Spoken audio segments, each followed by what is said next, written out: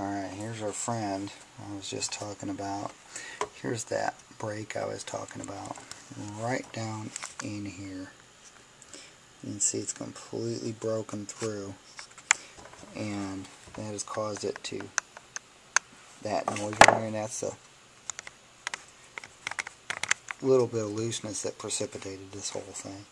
So we'll go ahead and get this uh, taken apart a little further and uh, see what we can do to make this thing turn out a little bit better. Because obviously we're going to have to um, redo this fore end. Um, we're going to have to refinish the barrel. Um, it has some rust and pitting further down also. Um, we're going to have to get rid of this rust, do some finish work on the metal here. Um, surprisingly, that the action on it seems to be just fine. It actually cocks. This doesn't have any kind of a safety and then releases. So we'll look at the guts of that. Um, opens up just fine.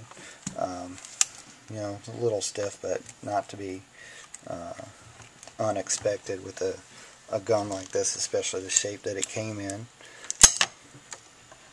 The extractor seems to work just fine. Um, and then we're going to have to do some work with the uh, the stock. It's in pretty good shape. Got a little bit of damage to it. Um, we'll just clean that up. Uh, and then we'll probably end up restaining it to match this. So this will be a, a little bit more labor intensive.